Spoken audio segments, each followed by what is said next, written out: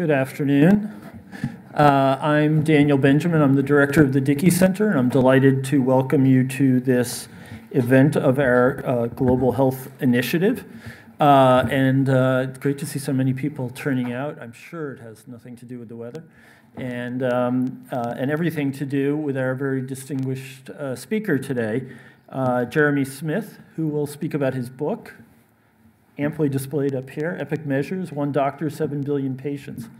Um, it is the, um, the story of the uh, Global Burden of Disease study, a 20-year study that has um, assessed uh, just about everything having to do with our health, every illness, injury, and death.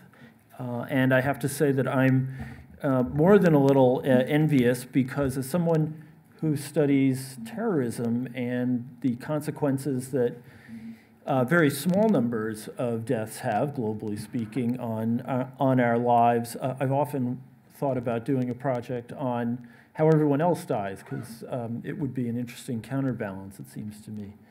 Anyway, um, Jeremy Smith, this is his second book. His first book uh, was Growing a Garden City. Uh, he has uh, written regularly for the New York Times, The Atlantic, and Discover. Uh, he is a um, uh, he is an inveterate, uh, I should say, habitué of, of college towns, having uh, grown up in Evanston, Illinois, um, studied at a small college down Route 93 um, in Boston, and now lives in Missoula, Montana, home, home of the university. Um, I'm also uh, um, filled with envy because he's um, gotten great reviews and, and terrific uh, comments from lots of those people whose comments you really want on your book, uh, including Bill Gates, uh, uh, Paul Farmer, uh, E.O. Wilson, and Fareed Zakaria. And that's a pretty impressive lineup. And they all said those things that are just completely over the top about it. Um, Although I noticed that uh, Bill Gates had the shortest one, very economical with his words. Um, but uh, anyway, uh, this promises to be a fascinating talk, and I'm delighted that he could uh, join us here today. So please welcome Jeremy Smith.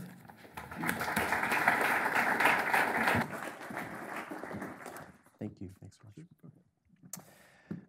much. Um, Thanks so much. I'm really glad to be here, and I just want to get a kind of quick sense of the room before I share some of the stories I have to share. So, if you could, um, is anyone here? Uh, I guess I'll be a little broad. A, a medical doctor or pre med? Could you just go to raise your hands? Okay. So, okay, actually, about a little about a quarter of us. Uh, someone either working in public health or kind of interested in going in that direction, public health. Okay.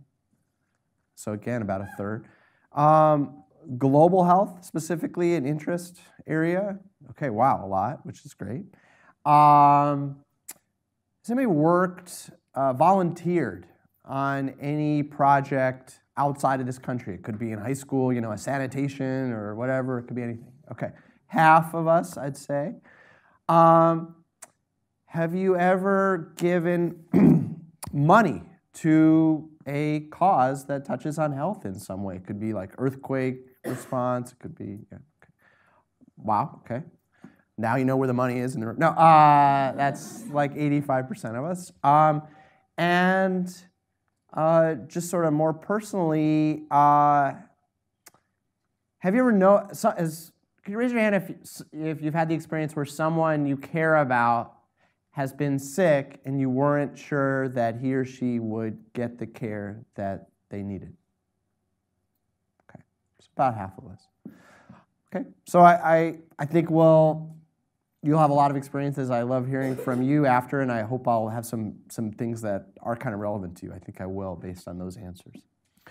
Um, so, uh, as you heard, Epic Measures is the story of the origins and impact of the Global Burden of Disease study. Now, that sounds kind of dry, but the book itself is a story. It's got characters, it's got action, it's got conflict, it's got plot, it's got big scenes and you know billionaires and rivalries and you know people having fast-paced conversations down you know, halls of power, but I'm not going to share the story with you today. Uh, you should definitely check it out, read the book. I hope you'll get a lot out of it. Um, and I know you'll have a chance to get it after uh, if you want. But I wanted instead, right now, to share some of the big ideas at play and uh, just kind of give you a taste of some of the issues involved. So, as I said, it's about the global burden of disease study. And this is, as you heard, a 20 year, 500 scientists, now 25 year, 1,000 scientists from 100 country, over you know, close to $200 million project now to measure uh, almost every aspect of human health. And in a shorthand, it's to create the sort of equivalent of uh, Google Earth for Health, where you can survey an entire continent like Africa, see what's killing people and making them sick, or zoom down to a country level, go to Angola or India or Italy or the United States, or look at just men or women or a particular age group, or where you have more data in certain places, like in the United States, go all the way down maybe even to a county level or even a neighborhood level and see what's going on. So, why uh, would you need that? Well, you know, it's sort of the old doctor's adage, you know, first diagnose, then prescribe. If you don't know what's going on, how do you know uh, where people need help? Okay, so if you are trying to work in a community, are people suffering from early childhood diseases? Are they suffering from car crashes? Are they have diabetes? Do they have cancer? Do they have an autism cluster? Uh, do they have heart disease or stroke? Is depression rampant? All of those, I just named six, seven things. Those are seven really different causes of illness and injury. Those are things that require totally different trained staff, interventions, investments, even to detect them, much less treat them or try to prevent them. So you want to first kind of know what's going on before you try to act, ideally. so, still, don't we already have a sense? Why would we need a thousand people? Why would we need $200 million? Why would it take 25 years to just have that kind of sense of what's going on? Uh, and to kind of answer that, I kind of want to give you a sense of the world prior to the global burden of disease study, and then some of the insights that we have from its latest results. And I'm going to start at a pretty global sense, and we're going to end up at a country, and then we're going to go all the way right down to pretty near this, this lecture room itself. Um, so I'm going to ask three questions, and we're the first two. I'm just going to give you fair warning. Have kind of scary, uh, somewhat disturbing answers, and the third one is a little bit more upbeat. So I'll get you to a happy ending, uh, if I can. So Question number one What is the scientific evidence base for health policy? And feel free if you want, there's chairs up front. What is the scientific evidence base for health policy? What is the actual information we're using to decide what actions we're taking? Well, it's pretty slim, in fact. Some basic facts are this year, about uh, 50 million people will die around the world. Okay? Of that number, only about one in three will have a death certificate. So, death certificates themselves might not be accurate, a separate issue, but if only one in three people have a death certificate, if you don't know what's killing people, how do you know how to save lives? Just baseline stuff. Well, in the absence of that information, we have different groups that are studying particular causes or places, and they are working to fill in those gaps. So, what we have is the AIDS people measure how many people die of AIDS, and the malaria people measure how many people die of malaria, and the UNICEF tries to measure the diseases that are killing children just in case they screw it up. Uh, Save the Children is watching their back. In this country, we've got the lung people looking into lung diseases. We've got the drunk driving people looking into, you know, car crashes due to that cause. Uh, we've got uh, the famous uh, pink ribbon for breast cancer and other less famous ribbons for other causes, uh, like the purple ribbon for Alzheimer's awareness. And then when there are, you know, sort of natural disasters and we need immediate humanitarian assistance, uh, other groups pop up, such as after the uh, 2010 Haitian earthquake, the 2011 Japanese earthquake and tsunami, and just this year in Nepal. So these are wonderful groups. They're doing really important work, but there's a problem with this being who fills in your gap. One thing is, are they consistent in how they measure? Are they using the same methods to try to measure who's dying of what? Are they ever comparing their numbers and sharing information with one another and saying, This is my sense of things, what's your sense of things? Can we kind of learn from each other? And most dire of all, all of these groups have dual roles. They're both the measurers and they're advocates for those particular causes. And because they're advocates for those causes, what tends to happen in advocacy is when you have a range of possible numbers that you could be reporting, you're probably going to lean on the ones that are bigger. Uh, and you're going to say more people die of this because you're in a sort of fight for attention and for money and for time. And you want your, it's usually seen that the more people who die of this, that, or the other, the more important that is. And sort of a basic illustration of this, a story I tell in Epic Measures, comes from the 1980s. At that period in the global health community, was focused almost exclusively on child survival, trying to get kids to live to and past their fifth birthday. This was a time when UNICEF was particularly ascendant as a global health and politically powerful organization, and that was what almost all sort of global health efforts were focused on. And in that period, the World Health Organization in Geneva had different groups measuring the leading causes of death in children. So you had a group measuring how many kids died of diarrheal diseases, how many children died of pneumonia, how many children died of malaria, how many children died of measles. Those were the four leading causes of death, and you had separate groups of scientists, but all under the same one big building in Geneva, measuring the number of kids attribu- deaths attributable to those. And the two scientists who eventually went on to co found the Global Burden of Disease study were independent of that, and they did a really simple calculation. They took those four numbers and they just added them up. Okay? They took A plus B plus C plus D, and that number they saw was 10 million more than the total number of children who died in a year around the world. So, from those four causes, the leading authority on health, the World Health Organization, had inadvertently and with the best intentions invented 10 million extra children who were dying. And there's another problem with that, which is that children don't just die of those four things, even in poor countries. They die of a host of things and no one was measuring. So you had massive overcounting, but then you had things that were undercounted because they weren't counted. Didn't measure children dying of congenital anomalies, children dying of cancer, children dying of birth trauma, children dying of fires, falls, drowning, car crashes, okay? All of which kill a lot of children, even in poor countries. Those were being not counted at all. 10 million over, and you're only looking at four of the 300 different ways kid, children can die. And a sort of other illustration of this, another story I tell in the book, is uh, the case of tuberculosis. Tuberculosis was once one of the leading killers around the world, responsible for as many as one in 10 deaths in Europe and the United States, largely tamed by about a century ago, still a leading killer in developing countries but the people it kills are largely adults in their sort of 20s and 30s.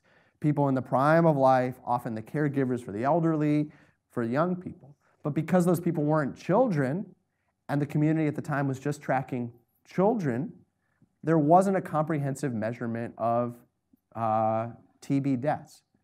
These same scientists sort of tried to pull this together, and they came up with an estimate that about two and a half million people were dying annually of tuberculosis around the world. It was, in fact, the leading infectious disease killer of adults, as it is again today with declines of TB, at least according to the public radio report I heard on the way over here. So, two and a half million, the leading infectious disease killer of adults worldwide, almost all in poor countries, there was one person at the entire World Health Organization working on TB at this time period. I live in Missoula, Montana. In Missoula, Montana, today, there is one person who works in our community on TB issues, okay? So the leading infectious disease killer of adults, one, killing two and a half million people a year, one person working on it. I don't want to just single out the World Health Organization. The Institute of Medicine in Washington, D.C. had at the same time period a sort of survey of their contributing members. What should we work on? What should be our priorities for health research for people in developing countries? And they asked people to rank them in terms of highest priority, medium priority, lowest priority.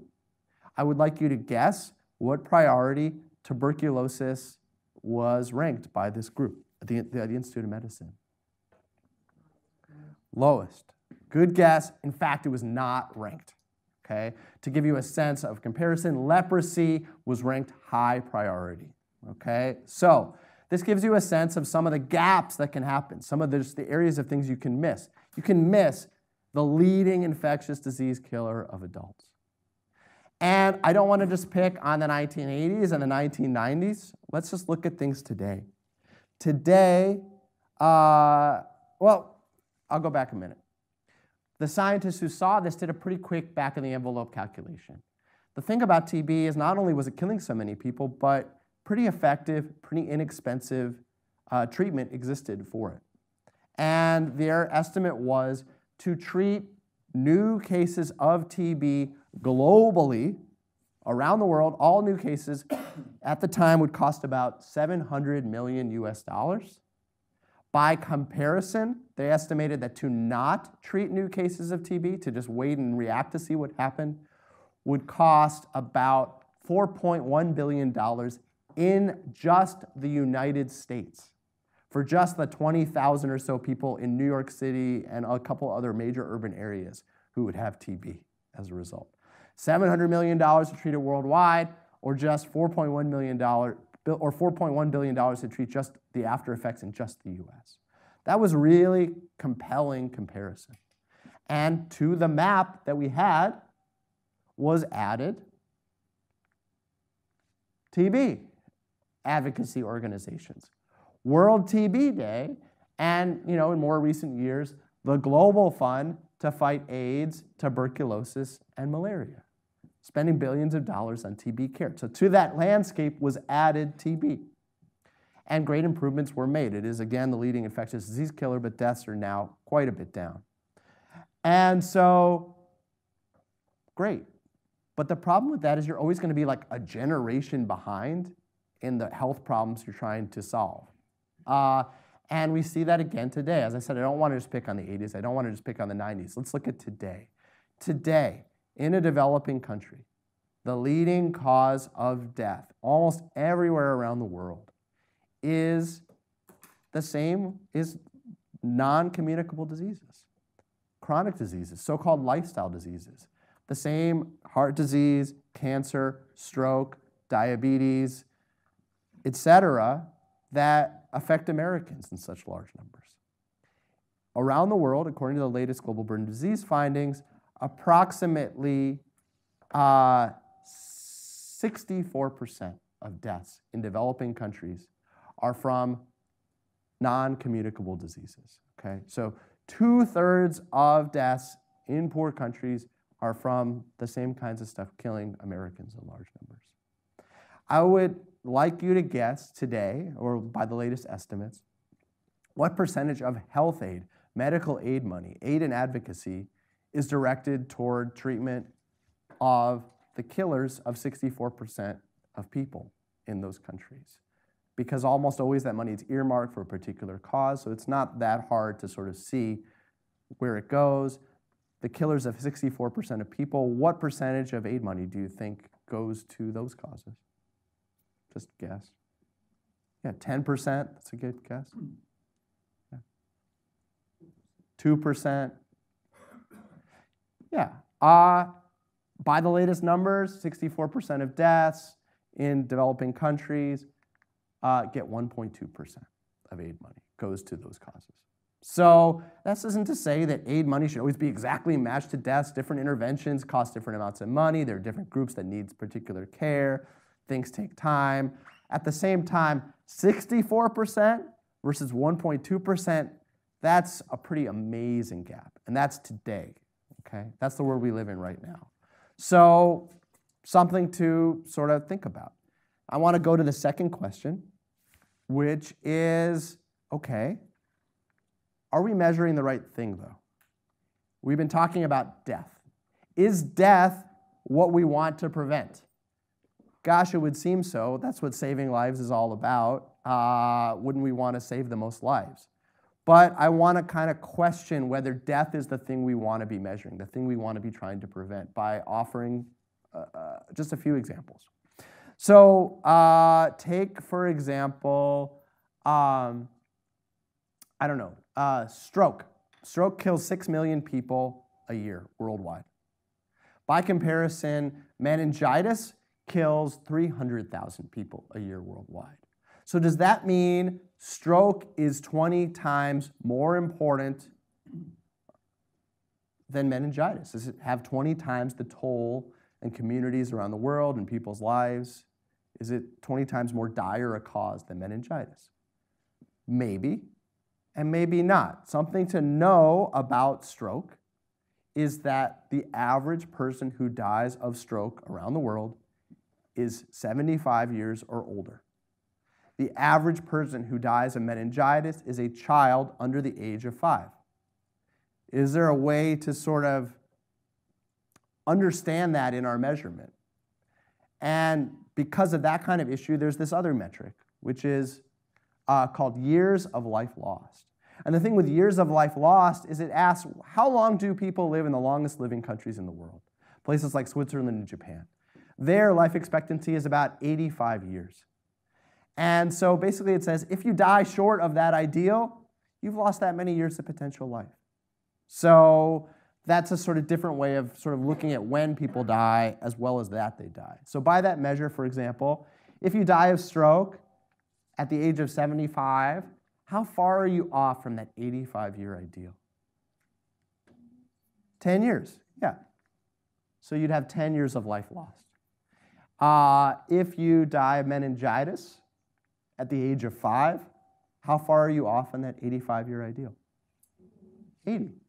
So, by that measure, uh, that individual case of meningitis is eight times more impactful in terms of years of life lost than that individual case of stroke. So that's just another way to kind of bake that in if you're interested.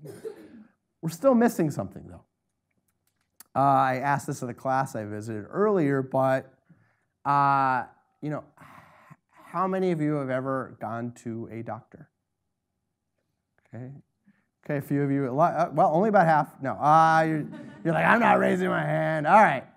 Uh, every time you go to a doctor and don't die afterwards.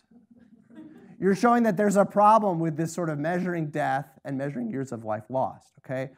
Almost all healthcare spending, almost all medical visits, and almost all pain and suffering endured is for things that are not killing people.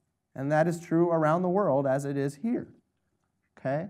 So if you are blind, if you are deaf, if you are anxious, if you are depressed, if you are disabled, if you are disfigured, if you are simply sick, none of those drivers of pain, suffering, health loss, health spending are going to show up even in a perfect death record, even in a perfect years of life lost measure. So, how do we take account of those two?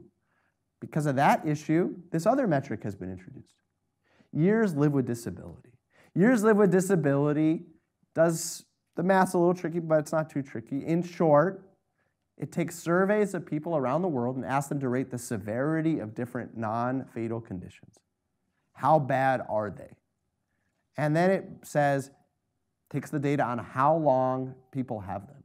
And basically it says, how bad was it times how long did you have it and that kind of gives you your years lived with disability.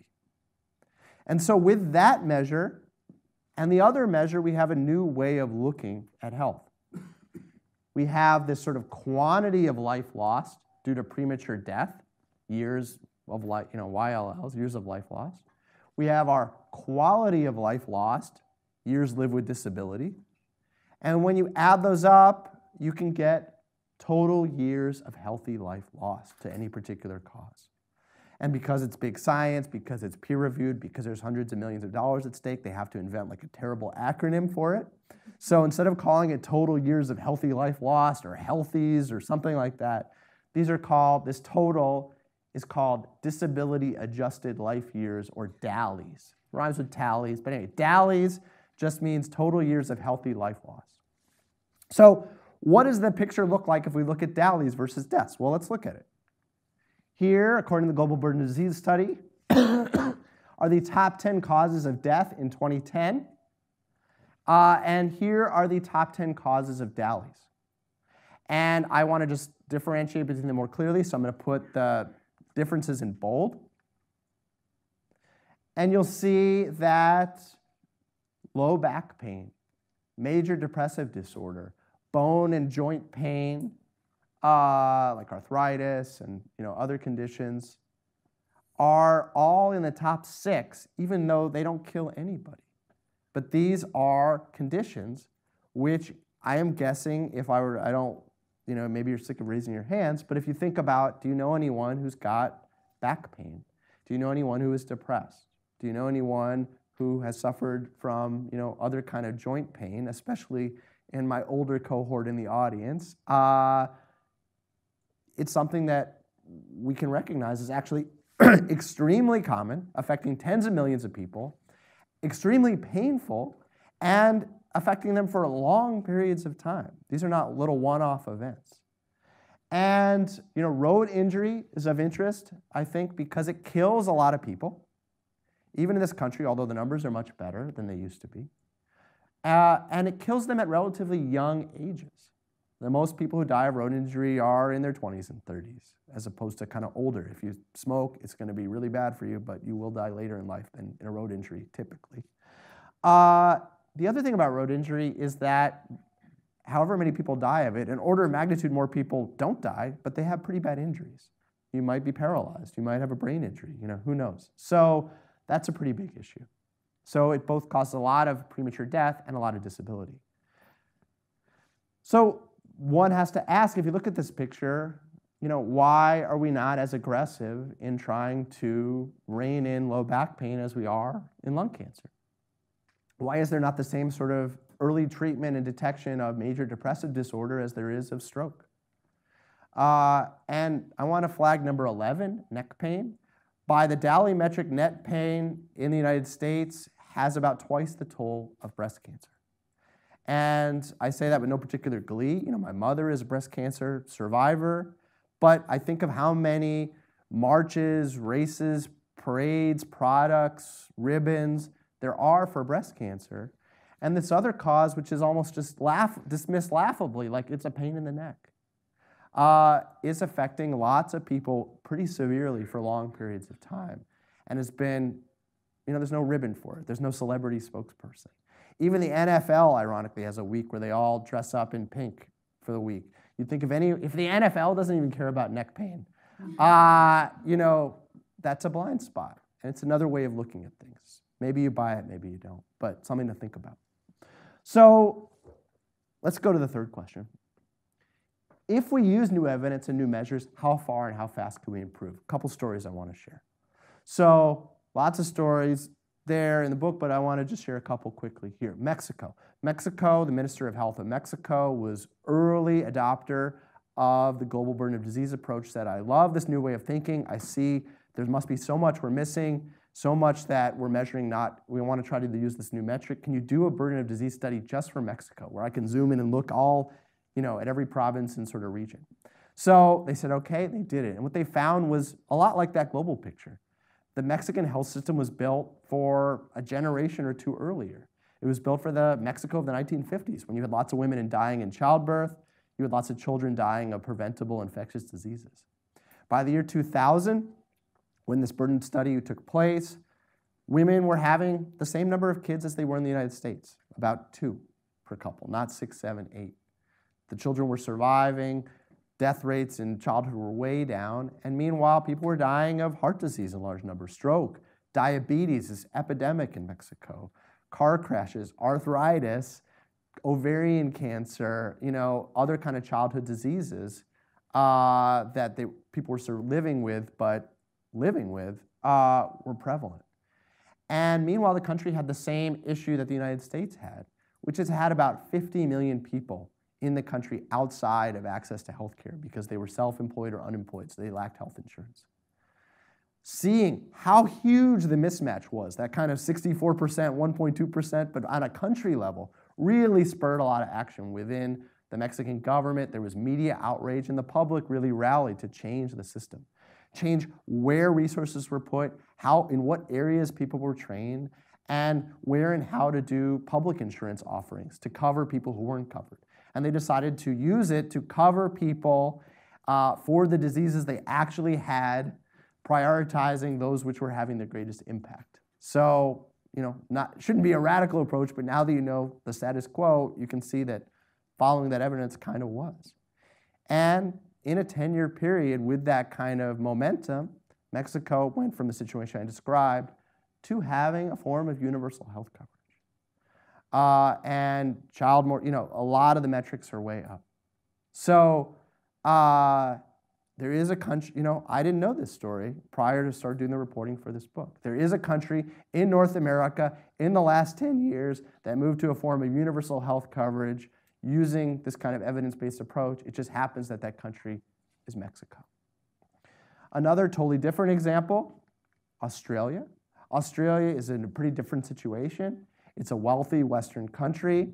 Uh, I use the word West loosely, uh, uh, but uh, it's a wealthy country has a single payer system, but you know, publicly funded healthcare isn't magic.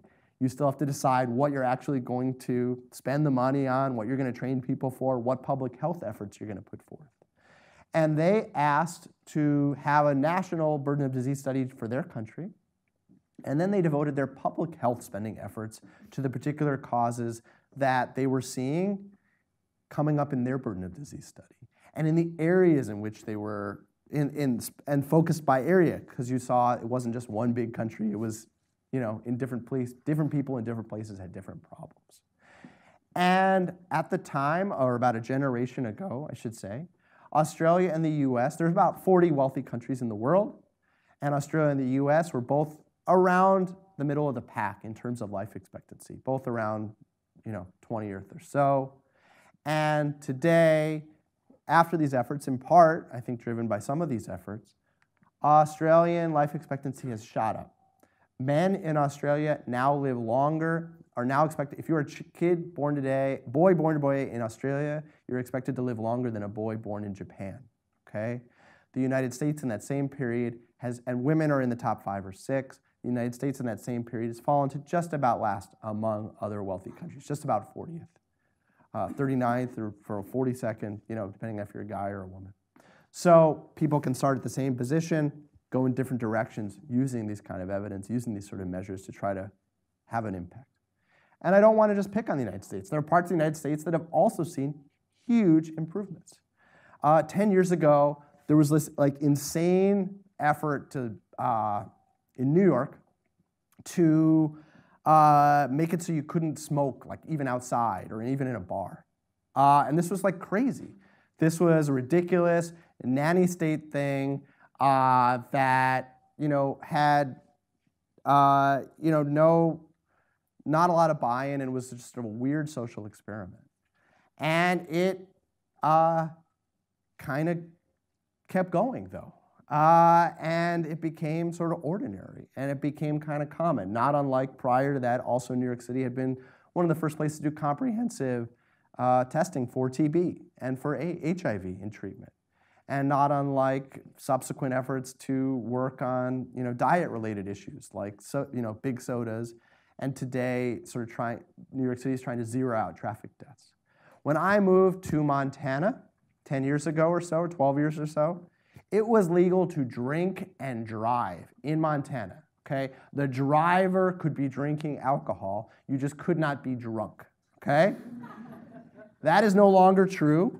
We also have speed limits, and even in Montana, you now cannot smoke in bars and stuff like that. So, something that's crazy 10 years ago can just be, you know, Russia two years ago kind of adopted something that's just insane can be just sort of status quo. Anyway, let's look at New York. Here's life expectancy gains in New York. They're about 10 years. If you're a kid born in New York City today, you're expected to live 10 years longer than your parents. Okay? If every county in the United States had the same gains that New York City has had, we would not have the last, we would be the longest living country in the world pretty easily. We would not be 40th, we'd be first. Okay? So this exists. It is possible. It does happen. And let's look at the country as a whole. Here's life expectancy at birth for women in 2010.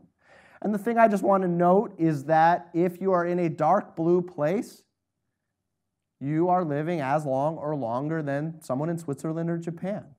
Okay?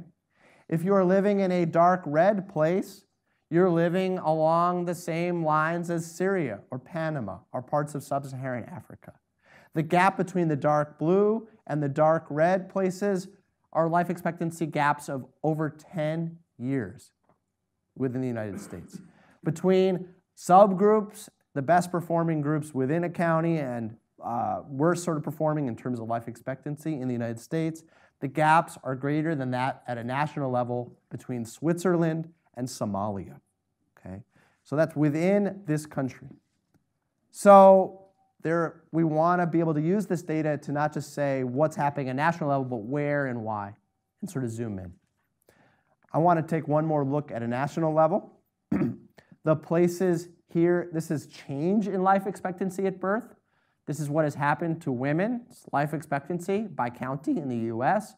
And what I want to flag for you for this map, for this moment, is just places in dark red or orange.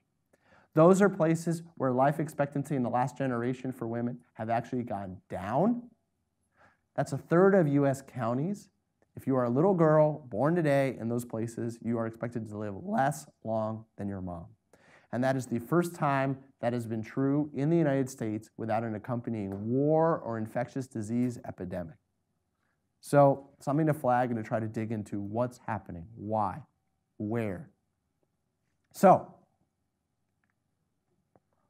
what about Grafton County? Okay, what's happening here? How are we doing? Uh, well, let's look. Let's take a peek. So many people would say, and there's some truth to it, that this is if you're rich, you live, if you're poor, you die. Okay? It's just the rich counties are blue, poor counties are red. Maybe, maybe not. Let's take a look. See how that plays out here, for example. So, how are you doing? In terms of poverty, not top 10, but top 20, relatively wealthy place. Okay? Go next door, it might be a little different, but right here, top 25% for men and women. So this would give us a sense that if money was what bought health exclusively, you'd be at the 25th percent, you know, top 25% of the US, right at the 20, you know, 75th, you know, whatever, 20, top best 25% of US life expectancy. Well, Maybe, we'll see. But let's look at a few other things that are also going on. Let's look under the hood and see what else is happening. So, how you doing in terms of smoking? That's sort of a, a you know, can be a problem. Uh, hey, you're actually doing really well. Best top 10% for men and women in terms of smoking. Great. Uh, obesity, driver of a lot of the diseases that people are getting sick from, dying from today. How is that happening here? Uh, well, actually also. Good. Top 10%, okay, for the United States, but still, uh, top 10%. Another driver of some of those things, physical activity, at least so we're told. Uh, how are we doing there? Um, top 10%. Okay. Everything, that's just, I'm going to stay. I'm never going to leave. Um, I'll be rich. I'll be healthy. Uh, let's see. Uh oh. Okay. Prevalence of heavy drinking. Uh, well, let's see. Let's see. Is it? Yeah, maybe it's great. I don't know. Uh, Okay, okay. In the worst 25% of all counties for men. Um, ooh, worst 10% of all for women. Okay, now to be fair, men drink more than women, so this doesn't mean that this just might be just a real, you know, women's equality location, and this probably just means women are drinking about as much as men, which is which is a terrible idea. Don't ever do that, women. Uh, and you know, especially if those are the men you're drinking as much as. Okay, so that's a problem, right? It doesn't just cause cirrhosis, it causes car crashes, it causes intimate partner violence, it causes suicide, it causes falling into lakes and off mountains and things like that, and fires and all sorts of other things. And we can look at exactly what things it causes. But anyway, it's not just a sort of, you know, one-stop problem. Particularly this one, binge drinking, uh, is even worse. Uh, but okay, you're in the, right in the middle for binge drinking. So you're drinking but you know, you're binge drinking, you're stopping after three or seven. So, okay. Um, so how does this drive? Well, let's see. You know, where are we for life expectancy? And I ask not because maybe it'll just be right at where we thought, it'd be 25%, you know? But even then, we want to know why. You want to know what you're doing well. You might not even know, so you can keep doing it well. And you want to know what you're doing poorly so you can see, oh, here's how we can improve even more or what might be kind of dragging on us, right? You want to have a sense of what's going on, not just what's happening, but why it's happening. Well, let's see. Okay, men, top 25%, right at where we would have said income. Oh, okay. Women, top 10%, actually. So apparently, your drinking hasn't caught up with you, ladies. Uh, you know, but uh, that's, you know, but it could. And this suggests you could do even better. And in fact, if we look, maybe for men it's hitting more. If we look at the sort of change in life expectancy, in other words, how is it? Maybe you started at a good place and you've been drinking and just figuring New York will never catch you, but they're coming at your heels. Okay? I don't know. So let's look. Um, you're actually doing okay. You're actually keeping up pretty well in change too. So you're on your trend lines are pretty good. But how do you get to the, be the best 10% for men? And let's say you don't want to just be in the best 10%, you want to be in the best 1% of all counties, okay? Because best 10%, okay, there's, that means you're in the top 300 counties, you know? But let's see if you can do better. And here's what happens if we look at it. You know, it looks like guys, you know, women have had a sort of steady gain. Guys have kind of plateaued, at least in that trend. So what's going on? Why? Maybe those are some factors. And how is your change or your status or your position or your sort of underlying things under the hood like poverty or smoking et cetera how have those how do those compare to other places nearby? So what's nice is we can look the same tool us health map online totally available free public right now find it on your phone. Uh, we can see where's grafton county compared to the national average compared to the state average and then compared to all the other counties in the state. So, who's peaking above you? Are they, and who's kind of nipping your heels? Are they richer than you, or are they drinking less, you know, or are they exercising even more? Who's not only way below you, but way below the national average. And that's the national average for the United States. So, way below the 42nd, the worst rich country in the world, you know? Uh, something to kind of know and we could click to a different state and look at different things. So it lets us kind of make these comparisons for the first time. And just sort of to conclude before we can talk more, you know, I'd love to hear your questions or comments. Uh, there's another one of these tools is where I got the kind of top 10 list. Uh, this has top 10 DALYs United States, but I could change it to any other country. I could change it from DALYs to causes of death or years of life lost or just disability. I can change it to just men. I could change it to just you know, a very important group to me, I hope all of you focus on it exclusively in your career, is men between the age of 35 and 39. Uh, they're very near and dear to my heart. Uh, and so, you know, work on that. But, you know, I've got a five-year-old daughter, so maybe do something for her too. Uh, it's that, you know, I've got a 22-year-old niece. You know, you can sort of zoom in on your group where you go and you're like, okay, I want to work on women's health. What's really killing women of childbearing age in Rwanda or whatever? You can sort of zoom in and say, is it childbirth or is it something totally different? Is it fires or falls or cancers? Okay. Uh, and you can even switch it to risk factors, things like is it drinking or is it outdoor air pollution or is it lack of diet or exercise and see what the study suggests are the, those leading drivers. And just sort of big picture, it's exciting. I think we're in early days. We're going from a world where this is our map of what's happening. And I compare it to, you know, that sort of map of the world in 1491, okay, where things are sort of whispers and rumors, you know, from courtiers and spies. You know, we were talking about this earlier in the class I was visiting. And you don't know what's around the corner. You don't know where you stand relative to somebody else. You don't know what's out there. You don't know what's big or small compared to anything else. To a world that looks a little bit more like this, a map that looks a little bit more like this. And this is a map of DALYs by cause. I'm sorry, by uh, all DALYs, by all causes. uh, so uh, IHD is heart disease, MDD is major depressive disorder. Uh, things that are bigger are a greater percentage of the contributor to the global burden of disease. This is a global level. Uh, things that are darker have increased in severity the most in the last five years. And uh, things that are blue, or what we think of as uh, are non communicable diseases. Things that are green are injuries. And things that are red are sort of the traditional causes of global health maternal health, newborn health, child health, nutritional deficiencies, and infectious diseases. So, um, what I like about this thing isn't that it's perfect. It's like those first maps. At least they've got all the continents on one thing and they're sort of relatively the right size, right? So, you know, diarrheal diseases are on the map, but so is TB, okay? And breast cancer is on the map, but so is low back pain and neck pain. Um, and it doesn't mean you need to focus on only the biggest boxes, but you can sort of see where you are. And again, you can flip it and say, okay, I just want to look at this age group or this country or whatever. And you can look at it over time and see how things are changing. So I think that's exciting and it's a different view of the world.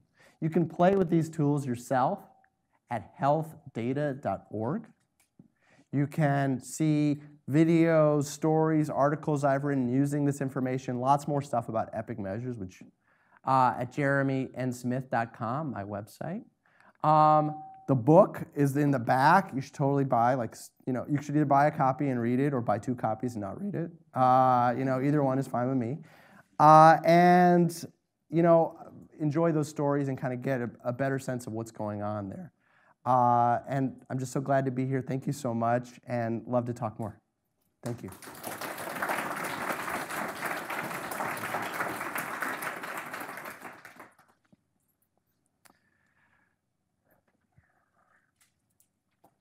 Yeah, I think you're going to get a mic passed to you. And yeah. I'm, I'm curious about how that data was collected and, yeah, such an and how much, um, you know, how, what the quality of that data is and what might be done to improve either the uh, comprehensiveness or quality of the data collection. So, great question. So, a few things are done that I do think make it more reliable source of data than previous sources. One is that it is an independent scientific team working, uh, you know, independent of governments, which have an incentive to look better to get reelected or worse, so they get more aid money. It's collected independent of aid and advocacy groups, which again need to step on, put their thumb on the scale sometimes. And uh, it is peer reviewed, you know, in that sense. So it's scientifically vetted in a way that isn't true of put, things put out by government agencies or even international agencies. And this sounds so simple or simplistic, but it's got double entry bookkeeping, which again, I, you know, the total number of people who die from all the causes that they measure have to equal the total number of people who die. So that alone is a radical departure from the status quo, where if you add up everything from the other groups, you both miss half of what's actually killing people, and you end up that everyone died three times over, even though you only got halfway through the list. So those are big improvements. But how good is the data? It's still estimates, right? And some things that I didn't get into and didn't talk about, how is it collected? So it comes from censuses, it comes from surveys, it comes from this thing called verbal autopsies, where you uh, are uh, going door to door in places without death certificates and doing retrospective interviews with family members of the recently deceased. Uh, it goes through um, people going to cemetery plots and checking sort of who's there versus what the official records say to give a sense. It comes from, you know, big math, big computer science too that not only gives you your numbers, but gives you uncertainty uh, intervals. So you can say, this is what we can say with really good confidence, and this is what we have a lot shakier grasp on. Uh, they annotate, they've got all their sources sort of there. You can look up where it came from and get a kind of sense of it there too. Um, and uh, the other thing is public health has come later to this sort of way of data analysis that has been embraced first in you know Google, Goldman Sachs kind of world, which is modeling, which is that you kind of accept we're never going to have perfect information, but what we're going to do is we're going to make up a whole bunch of models, and those models are then going to be tested against cases that they haven't seen before, and those that seem to have that seem to work well when we actually have the right answer that we can test it against, we're going to give more credence to. And you know, Google seems to work pretty well. Goldman Sachs has its ups and downs. You know, you can decide how much you buy into those kind of models, but they're pretty good and they're getting a lot better. Uh, I still think we're at this sort of, you know, uh, we're not at the first. We're, this is a 20-year project, right? So I think that first version was that like 1492 map. And I think in those 20 years, maybe we're at the 1692 map. But the 1692 map was pretty good at a continent-wide level.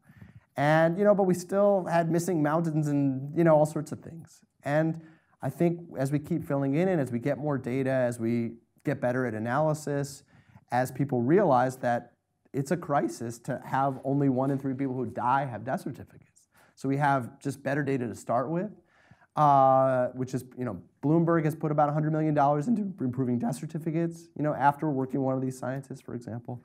Uh, we'll get, you know, hopefully at least to the map that you had in your sort of elementary school classroom, that level of accuracy on the uh, and where you have more data right now, even, you know, at Seattle, they have it at a pilot project. In Atlanta, they have it at a zip plus five level. So they're showing it at a five block radius burden of diseases. And that's really fascinating because you see the same gaps at a within a city as you do, you know, within a country or within a county. So most countries versus ours, like Vietnam or Myanmar or Nepal, Yeah. have a dollar to spend on healthcare. Yeah. And they have to decide each year whether it's the Maoists or the Communist Party or the junta, how they're going to spend their money, divide it up. So when I want to find an answer, for instance, when I look at spending my dollar on repairing kids with cleft lips, Yeah. or spending my dollar on diarrhea, Yeah. and comparing the DALYs in those two groups, Yeah. where do I look that up? So um, we could, if this can have a web browser, we can just pop it up and I can show you. But you can look at it through healthdata.org, and I'd be happy to sort of step through that one-on-one. Or if, if you were, it, just load it up anytime. If you can just open any web browser, um, and I can sort of step through it, for example. But a real-world example of that is the case of Rwanda. Uh, the Minister of Health there saw the risk factor analysis, and it is a pretty resource-constrained setting. Is someone who's really interested in this project, and um, yeah, and I, will put it in there. Uh, um, and saw what was their leading risk factor according to the burden of disease analysis. Was it unsafe water? Was it dirty water and sanitation? Was it uh, you know uh, outdoor air pollution? Was it lack? Was it child malnutrition? You know, any of these could be the cause. Surprisingly to her and to me, the leading cause, leading driver of burden of disease in that country as a risk factor level was um, indoor air pollution, okay, was uh, sort of pollution from dirty cook stoves, which was essentially like everyone, you know, dung, charcoal stoves in an unventilated household. Essentially, everyone in a, it's like the equivalent of everyone in a house smoking 24 hours a day. So it's driving lung disease, heart disease, stroke. It's also driving, you know, blindness and a host of other kind of ailments that aren't fatal but are hugely disabling. And sort of the biggest bang for the buck she saw for her one buck in some cases was to act on that issue. And they did a kind of cash for clunkers sort of swap and they, the government helped fund swapping out 100,000 uh, dirty cook stoves for 100,000 clean burning cook stoves. So that was an example. But to show you where to look it up, there's a number of these visualizations. And if you go to the results, data visualizations, um, you know, uh, and in countries, you can see what countries have donated, you know, even have, uh, you, here's, by the way, here's a zooming in for just England. Here's Nigeria. These are places where they have more data and better partnerships, or at least they're trying to get it at a more granular level. Uh, so you can zoom in. Here's a really interesting one to play with if you're interested in where I got those numbers on finance. You can see where money flows in global health from what to what causes, from what agencies uh, public and private, and you can see how that's changed over time. Uh, you can see the sources of data and their distinctions. Uh, social determinants of health, US health map. You can step through this stuff, but I'm going to go to the sort of core tool that I showed you uh, GBD compare.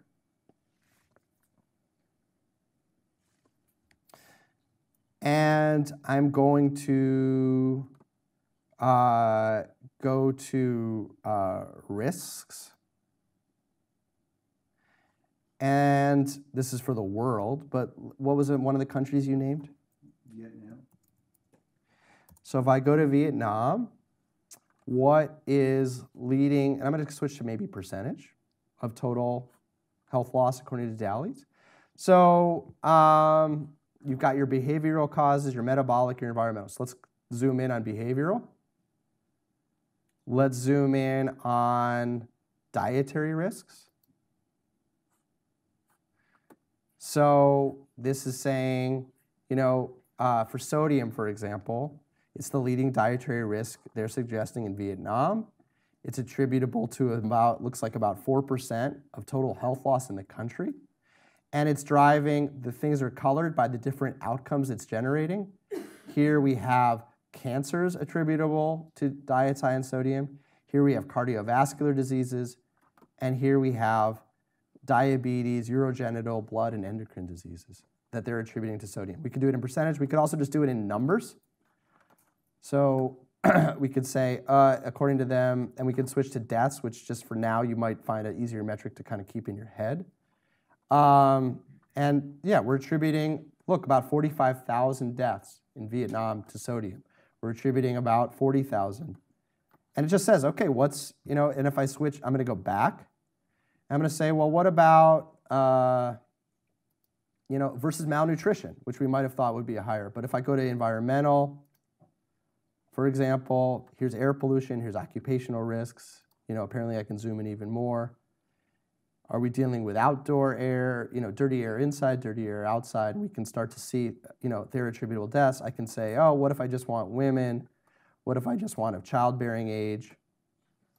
Um, and, you know, what's under metabolic, you know, anyway, you can get a sense of this stuff. So, and let's say I wanted to compare Vietnam in those areas to, say, China. And again, I'm still on women, 15 to 49. You know, so I can just sort of, well, you know, air pollution is a big issue, right? And outdoor air pollution is worse than household air pollution. But gosh, even in China for women, you know, they're suggesting they're pretty close.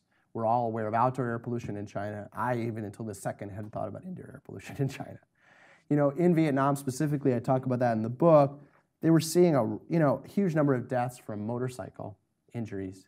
And I've seen that around the world in sort of seeing people embrace this data. I had a minister of health, I think from Brazil. I think she, was the, she, she had been, now then she was the head of PAHO, the Pan American Health Organization in DC, the sort of sub body of the World Health Organization for North and South America. She was talking about a host of clinics they had set up for uh, safe childbirth conditions for women. As those conditions had improved and women were having fewer children and birthing conditions were safer, all those hospital beds they had built, she was like, they're all getting taken. She's like, half those wards are just people who've wrecked their, a motorbike. Uh, and, you know, that rings true to my experience in Vietnam, at least. Uh, so, you know, you, you can take a look. You can also see the uncertainty intervals and sort of, you know, look there. And you can look and see uh, you know, something that's kind of interesting sometimes to look at. You know, you can look and see what it is by age. I'm trying to see. Uh, yeah. Anyway, we can play with this later. But yeah. Another question on that. Yeah. So if I wanted to compare motorcycle wrecks Mm-hmm. to the amount of money the motorcycle companies contribute to Vietnam and how that affects healthcare, some people have said that the amount of money they donate is equivalent to what it costs them in DALYs and deaths to treat. You, you see that kind of relationship? So you're crossing across Yeah. different domains? So Is can that- you compare? So you can get motorcycle deaths. This isn't probably going to have the amount of money that motorcycle companies have spent. They may, you know, I, that's probably not a data point you're going to find here, but you have a social determinants of health where they have complete data sets. You can cross them with, for example, level of educational attainment, GDP, see some drivers. I know that's not the same thing you're asking. You can look at financing global health, but hopefully it's another tool in your toolbox to kind of understand what's going on and take action.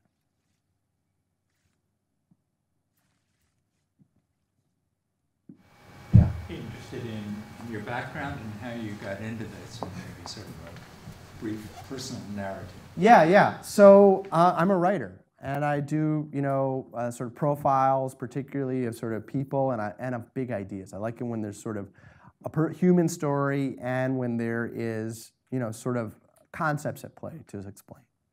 And I came to this book, and again, forgive me if I if I spoke to your class, but uh, in high school I was on the math team, which is useful. Uh, even though I totally strayed from that path and became a writer, it meant that I have this sort of uh, sideline that I talk to people who know what they're talking about, and then I can sort of say it in English sometimes. Uh, so, uh, but a friend of mine who had gone to high school with, and I was on the math team with, he went to MIT and he majored in math. And then he went to Carnegie Mellon and he got a PhD in math. And then he went to Microsoft Research and he was doing math. And I looked him up a couple years ago, and he was a professor of global health at the University of Washington all of a sudden. And I knew for a fact he'd taken a biology class in his entire life. he was not a viable applicant to med school. How on earth was he a professor of global health? Something at global health had changed. And he was one of these math people hired to bring the sort of latest and greatest math to these really thorny problems of estimation and calculation. And he was my point of entry to the project. And I asked him, Is everyone here a mathematician? What is this place? What are you doing? And he was telling me about some of the things he was solving. And his, his boss, it turned out, was this medical doctor and economist. And as I learned more about his boss, it was this sort of amazing story. He had, you know, uh, his first scientific publication in the British medical journal, The Lancet, was when he was 13 years old. He had worked in a variety of settings across Africa, almost 10 years of medical experience by the time he was a freshman at Harvard. Rhodes Scholar, Harvard Medical School, second in command at the World Health Organization by the time he's 35. Fired by the time he's 40 because of how controversial some of this work had been, challenging existing authorities, uh, and his own hard driving and abrasive sometimes personality. Uh, and then uh, these rival billionaires got involved. Uh, Larry Ellison, the fifth richest person in the world, was really interested in this stuff. Bill Gates, the richest person in the world, and there was this sort of, are they going to make this happen? And indeed, this sort of independent effort to outside of existing institutions in this sort of academic consortium generate all this information. You know, to me, it was like, this is a crazy moonshot project. They're trying to, they're going to say everyone doing everything, they're, not, they're going to question the numbers of every government, every international agency, every aid group, and they're going to say not only are they all wrong, but they're missing 90% of the picture, and we're going to fill it in. We're going to measure everything wrong with everyone everywhere for all time, and we're going to do it in five years. Uh, I was like, well, whether you do it or not, I want to kind of be a fly on the wall and see what happens. So I started following them around. Did an article for Discover magazine, and then started following them around, and that was kind of my my entry to that journey and the story, you know, that I tell in the book. Yeah. Um, so I was wondering, so you said like that the groups like UNICEF um, and others don't contribute to this data. And I was just wondering if they've improved their like the gaps between each other and like what they've done to um, improve their data collection and where that goes. Yeah, and they do. They are inputs into the data. Some of the stuff they say or they do, they're using some of the same sources. Sometimes they're sharing sources. Sometimes they aren't. And even these agencies and governments are so big that they can be at, at war with themselves.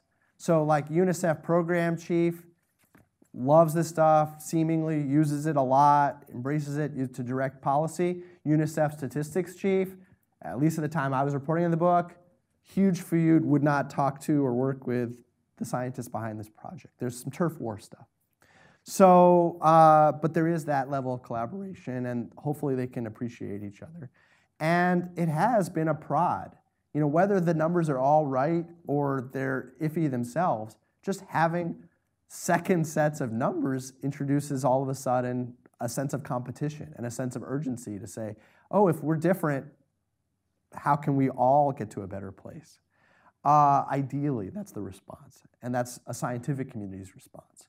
And so prior to this, there was not estimates of uncertainty. So UNICEF would just say every year, this many children died this year, or this many children died in this country. And those are big ass guesses. And now this was sort of a prod to say, okay, we need to not only improve how good our guesses are, but we need to acknowledge that there are a range here. And these are things we know well, these are things we don't. So it's not just half a million children died in you know, Syria during the humanitarian crisis. It's, is it, do we mean 495,000 to 505,000, a pretty tight number? Or do we mean, well, maybe 5,000 children died, maybe 1.5 million children died, our best guess is 500,000. So it's helped people kind of, you know, I don't mean to be so, you know, uh, you know, geek you out so much talking about uncertainty intervals, but it gives you a sense of this sort of super boring sounding thing can be a real matter of life and death. And the thing about them isn't just to say, oh no, we have these big uncertainty levels, we can't do anything, we don't know anything. It's to say the things where we have a lot of uncertainty, let's go in and those are the areas to focus on getting more information and better information.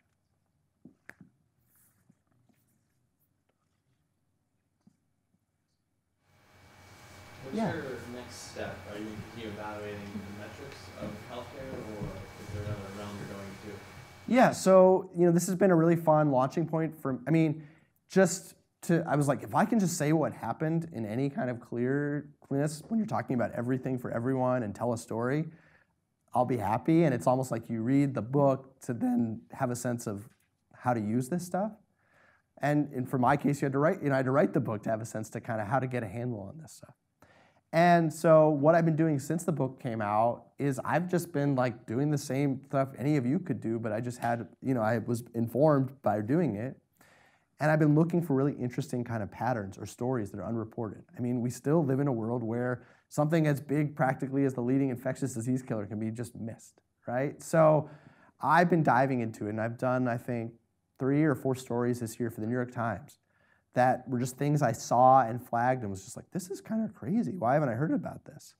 Uh, like that, you know, how many people die of injuries versus other things? Car crashes kill more people than AIDS. You know, falls kill people more worldwide than any kind of cancer. Just falling. You know, just something you never, you know, what we call accidents. They were dismissed in that way. And sort of what that looks like worldwide, and also how it's really different even among countries that seem the same. Like, why are Americans twice as likely to die of poisoning than in the UK? Or why are the French more likely to die of falls than in Spain? You know, things like that. Another thing has been about how as the world is aging and as people are surviving, what they need has been changing. So for example, I did a thing about like India has 60 million people with diabetes, okay? India has like 212 chronic migraine sufferers. You know, things, you know, if I asked this room of super informed people, and you know, certainly myself, you know, uh, least among them, you know, prior to writing this book, if I said, what are the top 20 health problems in India, I don't think any, you know, on that list of 6,000 things we'd come up with altogether, we might not ever mention diabetes or migraines or something like that. Uh, so things like that that you can kind of flag. Uh, and, and some other things. So I've been kind of doing that.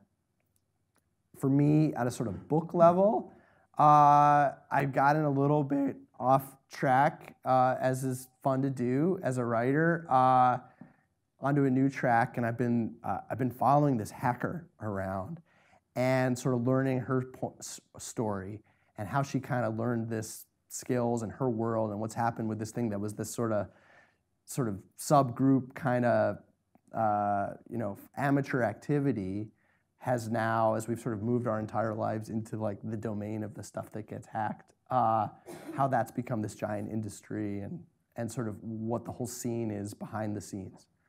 Uh, so totally different-ish uh, but again sort of person and big ideas at play i hope so we'll see if that works out um, going to MIT tomorrow, so I'll let you know.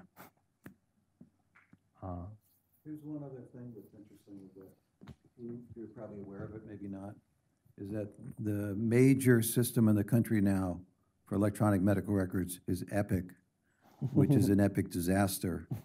And the reason we put it in is to measure, but not measure health, but measure how we bill people. And it's actually caused deaths at certain hospitals. Some places have bought it for hundreds of million dollars and returned it. Hmm. UCLA cost a billion dollars to put it in place. And most places, it causes the doctors have to increase productivity to match the loss of productivity. So it's interesting that you chose the title you did, hmm. because for a lot of doctors, and they look at it, they look at Epic Measure, and over their dead bodies, would they write a book with that title? Fortunately, the subtitle, which, you know, you know, one doctor, seven billion people, is attracted to me. But the Epic Measures, you would think, my, oh my God, it's something that I try to avoid uh, like the plague. Well, you can um, you can cross it out on your copy for sure. Just go with the subtitle. I'm happy. I'm happy. Yes, no no problem. But that that's a good point, and I appreciate it. Yes, you never know what's going to be the draw and the and the pushback. Yeah. Um, I kind of have more of an opinion question, but Yeah. you mentioned like these big movements like breast cancer and like movements against AIDS. How do you think that these, um, I guess, big like groups that are trying to address one specific issue can take this data and use it in a, like an informative way?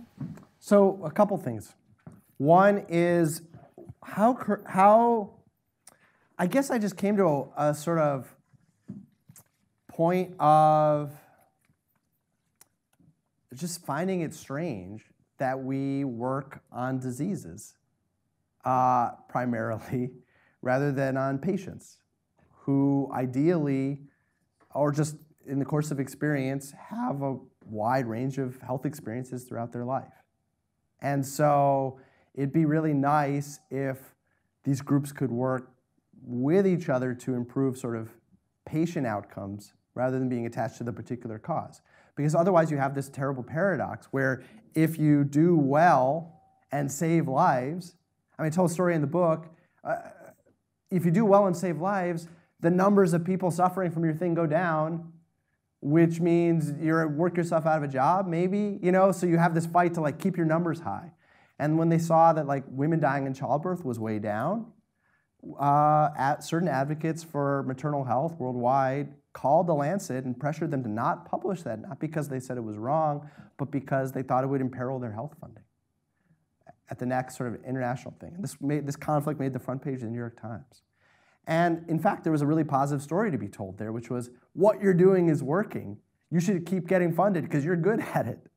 Uh, but that was sort of something that in the heat of that moment was really threatening.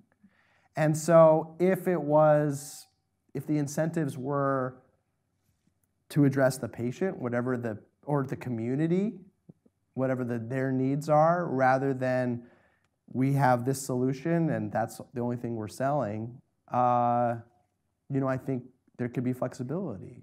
Uh, ideally, it's hard to work together. It's maybe that's idealistic, but another sort of point of hope to me is the success of some of these groups because these are not it can be unconscious to us that they are the popular causes or they are the things we are aware of and there's not necessarily an inherent reason why. I think saving the lives of really young children that un- is understandable to me as a universal appeal okay? Kids are cute it makes sense you want them to live longer. It's such an obvious innocent sort of victim or whatever but you know look at the example of hiv aids. I mean this was a super ignored stigmatized uh, disease. It was called gay-related immune deficiency you know in the united states. A middle school student you know when i was in middle school was kicked out of school because he had aids from a blood transfusion in the united states. Uh, it was, you know, a death sentence and sort of a huge social stigma. And in less than a generation, uh, became really uh, a cause celeb and something where people really rallied and it's just sort of universally understood as the sort of the cause of global health often and something that celebrities and students and activists really work toward. And so if something at that level of stigma and neglect and ostracism can become the sort of top thing or you know breast cancer or something else why not some of these other things? Uh, i think we can we can change. So that was another, I just want to flag that so we don't just get stuck in whatever moment we're in right now and think it always has been or always has to be that way. Um, going off of that, I'm really interested in how certain charities are like almost like monopolies on the public's attention and funds, and they're all serving great causes. But how can some, how can we overcome the problem that like charities that may be just really good at marketing are taking a lot of our money and attention, whereas other charities that may be curing a disease that's more prevalent or more. Um, yeah. Or even countries as recipients of aid. Certain countries have, you know, get way more aid than others for health terms, even though they have better health conditions. Uh, and same thing in community levels in the United States. Okay, and I think one answer is, or one approach is to have an alternative source of information and an arguably more reliable source of information than just getting it from those groups or just getting it from those governments. And also to uh, have those tools be publicly available. You know, you can pull up on a website and you know get the story out there. So uh, the media will increasingly turn to a better source. You know, if I write an article for the New York Times and I say, what a blah, blah, blah, blah, blah. According to the World Health Organization, no editor is ever going to flag that. They're going to say, you know, that's a, an unquestioned authority. And hopefully it's shifting to a questioned authority. and other sources are, are coming up so we can kind of have a better sense of what's actually going on. And that's a big story in the book. How do you get, you know, and that's one of the reasons they have these tools. These tools were originally developed internally for the team to check their numbers and to see what was going on. And then they saw how powerful they were and how people with no background in public health, no background in numbers, could see things really quickly and see things that surprised them or resonated to them.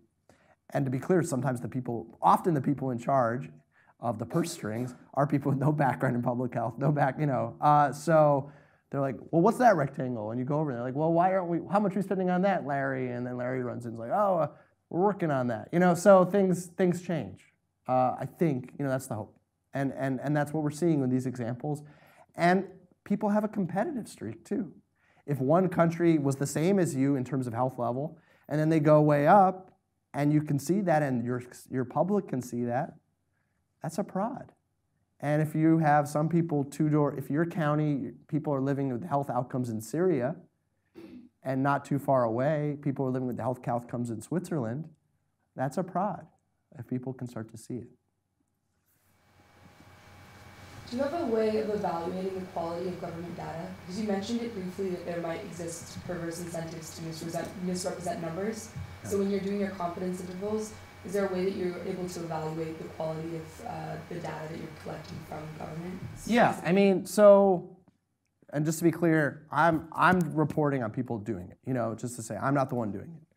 But yeah, I mean, they they have, um, you know, another tool here is, as I said, this, uh, this global health data database. Um, hopefully I'm clicking on it right, I don't know. Uh, somehow it doesn't seem to be loading. But anyway, if you click there, uh, you can see what the sources of data are. Sometimes you, you, there's other tools where you can see what weight they give different things, what level of completeness they have, what sort of biases they're suggesting. Um, and I don't, yeah, how are we on timing? Do you, should we continue one on one or should we keep, you know, over there? Should we? Great. Okay. Cool. Sorry. Yeah, yeah please. Uh, a historian once told me that before the invention of penicillin, doctors killed more than they saved. Mm. And one thing that I don't see showing up is, um, or know how you get the analytic tool to represent is uh, doctor error in any kind of serious way, because as we know, that gets woefully underreported. Yeah. Um, I think it's here. Let's just take a look. Uh, cause, let's see, medical. Adverse effects of medical treatment. It's one of the thousand things there. Uh, and the top, the thing on the top, um, I'm sorry, I'm going to do all ages or both. DALYs, for example. I could switch it to deaths. So uh, what is here, the places that are, I'm sorry, go to rate, that's the number. So to be fair, India is very populous. So if I switch to the rate, uh, you know, it particularly would not go to uh, Papua New Guinea uh, or Botswana, right? Or, you know, Malaysia uh, or Bolivia. But, you know, even here, you know, let's look at Spain as 39, you know, per 100,000 versus um, the UK, you know, you know, France. So, you know, the rates can be double, you know, triple even within per that particular cause. And what's fun, you know, here you can sort of switch it. You can you can click on the bottom and click on any cause, like who's doing well or poorly in terms of diabetes, and the thing on the top will then switch to color for that particular cause. So you can see where diabetes, you know, if I wanted to say, where are the most people with diabetes in the world? I'd go over there. And not surprisingly, perhaps, now that we've talked about it a little, they're in India and China. That's also where the most people are. uh, but at the same time, it's like, okay, um, there are apparently uh, 10 million people, you know, oh, I'm sorry, di- that's, that's DALYs. You know, if I switch, I could switch to the number, the incidence rate, which is a little different, but 10 million DALYs a year attributable to diabetes. And there, we can look at just the number of people with the condition, which is a little different. But deaths to diabetes in, in China, we're looking at they're attributing about 131,000. India, they're attributing, you know, about a quarter of a million. And you can see in parentheses with what level the range they're suggesting. Anyway, medical error. But obvious, yes, medical error, but also HIV is going to be, it's a huge social stigma in a lot of the world. Suicide is going to be underreported. Uh, childbirth is, deaths in childbirth are going to be underreported at a national level because for governments that's hugely embarrassing. You know, Pakistani government hates if India is having a better child's maternal survival rate than than they are. You know, these are th- certain diseases are politically sensitive, certain ones aren't. And part of our work can also be to make these things that are hurting a lot of people also politically sensitive. So you can't just ignore people with depression or anxiety or back pain or arthritis or diabetes. Well, that was fantastic. And uh, now everyone has to go by the book. so thank you so much for coming. Thanks for having me, guys. Thank you.